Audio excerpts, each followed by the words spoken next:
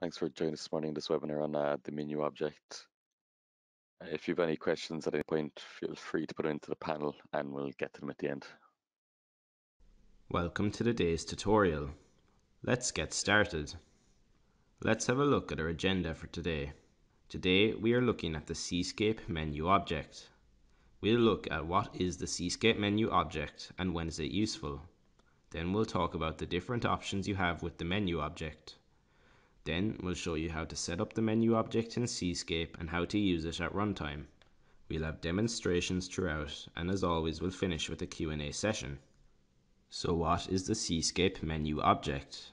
The Cscape menu object is a graphical object available in the Cscape graphics editor, which is where you do all the user interface configuration, including the graphics development. The menu object is one of the most comprehensive graphical objects available because it provides you with everything you need to design and fully implement a menu structure. In some applications, the menu structure is a very effective user interface tool. So when is the menu object most useful?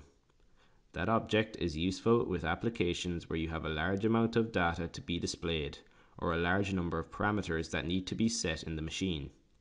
It's also useful with applications where you have a relatively small screen such as an XLE, an XLT, or maybe one of our micro OCS series such as the X4 or the X5. So what can you actually do with the menu object? The menu object allows you to create a hierarchical menu structure with a series of menus and submenus to lead your user through your data or through the parameters that they need to operate the machine. You can have many different items in your menu.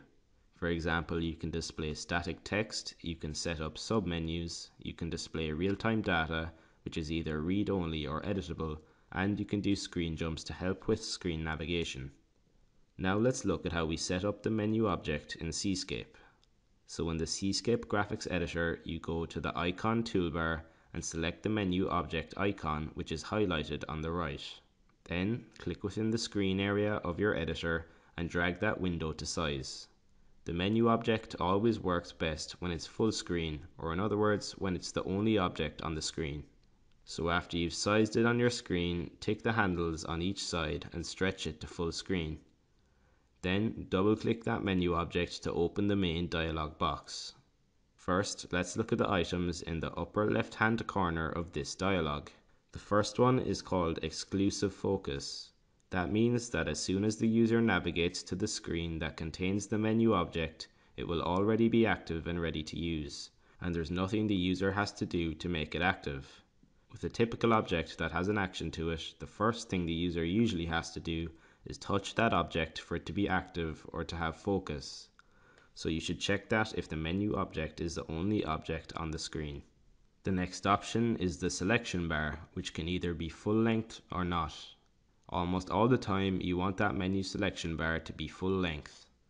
If you take a look at this real world application of this XLE with a menu screen being displayed, you can see that the IO status menu item is fully highlighted all the way from left to right. That's because it was created with the select full length option checked. The next thing we'll look at is the option to have a sub-menu selection register or a sub-menu selection variable. If you want your navigation to be automated or overridden, this variable can be used in the program to accomplish that. This is an optional feature which is essentially a variable that's going to contain a numerical value which can be an indicator of where the user is in the menu navigation. If you write to that register, you can automatically cause navigation to a specific location in the menu. If you do utilize that register, you'll initialize it to a value of 0, so that when the user starts off at the menu, they're starting off at the highest level, whereas if you leave it with a non-zero value, they'll start out somewhere deeper in the system menu. Then you can begin configuring your menu pages by pressing the button in the upper right hand corner. Then you can start adding items to your menu. Here we're looking at the main menu page dialog and you can hit the add button to start adding items to your menu. There's a variety of items you can add which are listed here on the screen. Those features include a sub-menu page pointer, numeric data fields, ASCII data fields, a text table, time and date displays, password data fields, and screen jumps. So these are all the things that are available as items on your menu. Let's start with a very common item for you to put on your main menu, which would be a sub-menu page. By putting this item on the main menu, you'll allow the user to select it and navigate to a sub-menu. For this sub-menu, you just need to provide a name under the prompt text field and decide whether you want it left justified, center justified, or right justified. And most of the time with menus, you leave everything as left justified. When the user selects this at runtime, they'll navigate to this submenu, but the actual configuration of the submenu we will do in a later step. Another thing we can add is a numeric data item. For this, you just need to configure the prompting text, which is a bit like the legend that you would have on an individual data item. So in that field, you just have descriptive text.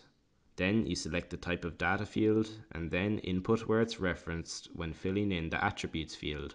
One thing that you have to do in the menu object that you don't in a traditional numeric object is that the minimum limit and the maximum limit must be filled in appropriately for your data fields whether it's editable or not. Whereas with a traditional numeric data field, that only applies to an editable data field. And note that here you have a choice between an editable data field or a non-editable data field. With a non-editable data field, it will be displayed on your menu list, but it won't be selectable because it's just there to display read-only data. Whereas with a read-write or editable data field, they'll be able to select that and then go in and edit it. Another useful item is a text table item. This is just another type of data object where we show the results with a text string. Again, fill out all of your attributes and don't forget to create the text table if it hasn't already been created. The screen jump is another useful item. With a screen jump item, when the operator selects that at runtime, they will jump to the screen that you selected when you've configured it. If you want the user to be able to navigate back to the menu by pressing the escape key, then make sure the escape to return option is checked. One thing to note is that as of current firmware from when this webinar was made, the escape action, instead of escaping back into the menu from which the jump occurred, Instead, it's going to jump back to the top level of the menu. And that only applies to you if you have multiple levels to your menu. Finally, let's look at the no entry item. This is a convenient way to put some static text as an item on the screen. That text can't be selected and it's simply display only. There's a variety of things you could use this no entry item for. For example, it could be informational or for a legend type space near another data field. Next, let's look at how we configure those submenus that we put on our main menu. Once you put submenu items on your main menu, you'll see that on the left side of the dialog, you now have a hierarchy pane with those submenus showing up in a tree structure from where they can be selected and edited. Another way that you can select and edit a submenu is by selecting the item from the main menu list and then hitting the expand submenu button. Next, let's look at other options that are available in the dialog box for configuration. The first thing we'll look at is this enables register. That's an optional advanced feature that allows you to remove or hide items on the list. For that, you have a 32-bit variable you can assign, which is one bit allocated to each item on your menu or submenu. So you could have as many as 32 items on your menu or submenu with each item corresponding to one of the bits in the enables register. If a bit is a 1, the corresponding item is visible, and if that bit is a 0, it's not visible. So why would you want to do that? Well, one example could be if you have a user that doesn't have authorization, so you want to hide some of those options from them. Remember again that that is an optional feature. Now let's begin our demonstration where we'll look at setting up that menu object in Cscape. So I'll open Cscape. Here we have an application for setting up an XLE to act as a remote I.O. block off of Ethernet IP, which we have used in different webinars. Part of this application is the user interface, which is designed so that the user can set up the I.O. block and also monitor the status of any of the I.O. For this, we have many screens with jump commands to navigate from screen to screen. For this demo, we'll take a similar application, which again is for using the XLE as a remote I.O. block, but to base the user interface on a menu object instead, and see how that is different. So I'll open up the graphics editor. Here I have my XLE and in this application I only have two screens configured. One screen with a comprehensive menu object and another screen that we can use to set up the Ethernet parameters for the XLE as a remote I.O. block. But let's start with the menu object screen. So this is a menu object that has been stretched to full screen so that it occupies the entire screen. I'll double click on it and go into configuration. Here I chose exclusive focus, so the object is running and ready to go as soon as the user sees it. They don't have to do anything to enable the object. I also checked select full length. This is where we can configure the color scheme of both the header and the items in the menu object. So let's quickly look at the OCS to see how that looks. You can see at the top the header is the XLE Model 6 IO and then the menu items are listed below the solid line. For a monochrome OCS, we have to select the same color scheme for both the header as well as the items. For a color OCS, we can set those independently. Next, let's look at the Configure Menu Pages option and see how we configured our main menu. On our main menu, we added four items to that list. The first item was a text table item, to give the operator the ability to see quickly if the system was okay or not. If the system is okay, then they will see yes, and if not, they'll see no. For that, we just had to configure the register or variable that the data or text table item is tied to, and how many ASCII digits we want to display.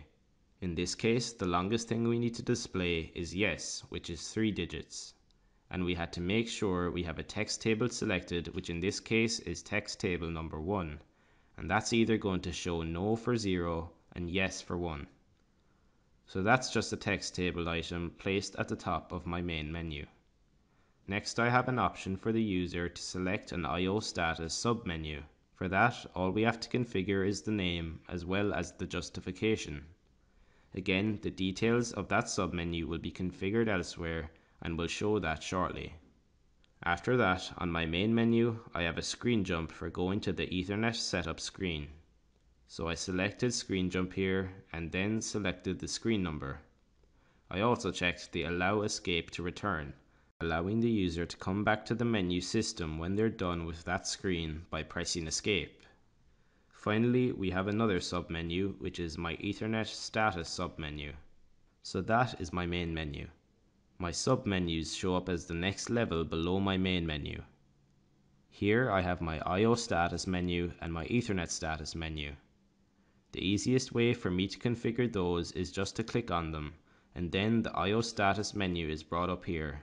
And in this case, each of these items is a pointer to another submenu for looking at the status for each of my different types of I.O., which are digital in, digital out, analog in, analog out, and high speed counter data. For each of these submenus, all we did was name them and set the justification. Then, in the hierarchy pane, my submenus are the next level down, and from here I can individually go in and configure each of those. Here is my digital in submenu. So here I have many numeric data fields that I want the operator to see for the status. With this approach, I have it so that on the first line, the operator can see the state of all 12 inputs, and then they can scroll down to each of the 12 individual inputs to see whether they're on or off. The configuration for each of these items is just a matter of selecting the address and the register width, then selecting binary as the format, and selecting how many digits I want to display. In this case, I'm just displaying one bit on or off and finally I make sure the min and max are set appropriately. For my digital output submenu, I've configured that identically. I also have 12 outputs and the user can see at a glance the status of all 12 outputs at once or they can scroll down through them individually. For the analog input submenu, again I have my numeric data, however this time instead of it being binary information, it is signed decimal information. So here it was important that my minimum limit and my maximum limit are set to appropriate values to make sure I'm getting the data displayed that I wanted. Otherwise, what I could see instead would be a series of arrows left or right indicating my values are out of range. Then I set up the analog out identically. These are all numeric data fields and again I've done the same for the high speed counter submenu except with the high speed counter each of these data fields is a double integer with much larger minimum and maximum limits. So that is what my IO status submenus look like. Now let's look at the Ethernet status submenu. Here I just have three items and none of them are submenus. There's a link OK indicator, which is a text table which will say yes if the link is working and no if not. Then we have the scanner OK indicator, which does the same thing with the scanner. Then we have connections, which is the numeric data field that's tied to the lower 8 bits of the Ethernet IP status register. And that tells us how many active connections we have with the OCS or that the OCS has with external devices. So that's the configuration in Cscape for the menu object. As you can see, you can set up some sophisticated menu systems all on one screen. Now let's look at that on the OCS. Here is our XLE. First, I'll just show you the navigation. So here we have our IO status menu as our first option. As I use the arrow keys to navigate up and down, Note that anything that's selectable is highlighted as it is selected. The system OK status at the top showing yes or no is just a display of data and it's not selectable. So I'll select the Ethernet setup which is a jump command to another screen. I'll hit enter to jump to that screen. And here I can go in and change the configuration for the Ethernet set of parameters and then I can hit escape and I'll go back to the top level of my menu. So that was the Ethernet setup. Now let's look at Ethernet status. Here there's nothing for me to navigate to because none of these are selectable. They are all just informational displays. I can see the status of link OK, scanner OK and how many connections are established. Currently I have one with an Ethernet IP scanner and I have another one with Cscape. So we're seeing two connections here. Now I'll hit escape and now let's look at the IO status menu. This is where we have our choice of all the different types of IO. Let's start with the digital inputs. As those digital inputs are manipulated, you'll see the status change here. We can continue to scroll down as we go, well below the lower limits of the screen, and you can see everything changing. Now I can go back and this time I'll go into the digital outputs. Similarly, here I can scroll through all the different I.O. statuses. On the analog input side, I can see the current value of the two analog inputs that I actually have connected. 3 and 4 are open circuit, which is why they have values of minus 6400. And then on the analog output side, there's only one coming over from Ethernet IP, and the others are just fixed at zero. Finally, we have our high speed counter option, which shows us the current count on our high speed counter. So that is a menu driven user interface based on the Cscape graphical menu object. Thank you for joining us for today's tutorial, and the Q&A session will begin shortly.